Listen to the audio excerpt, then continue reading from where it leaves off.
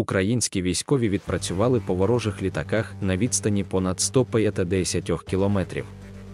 Результати бойової роботи зараз перевіряються, повідомив командувач повітряних сил СУ Микола Олещук у Телеграм в п'ятницю, 8 березня.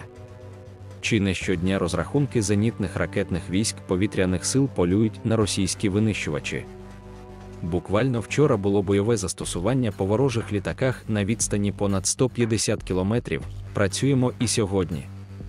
Перевіряємо результат бойової роботи, написав він.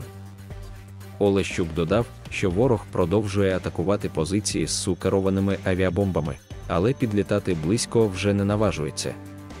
Крім того, останні втрати авіації РФ змусили росіян зменшити кількість авіаударів кабами. Зменшились їхні спроможності у веденні радіолокаційної розвідки. За нашими даними, серед російських пілотів уже почались певні дискусії щодо рішень військового керівництва посилати їх в один кінець.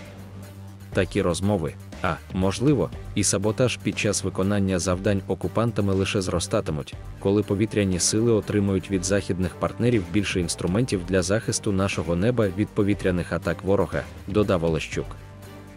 Нагадаємо, за останні тижні росіяни втратили не менше 15 літаків.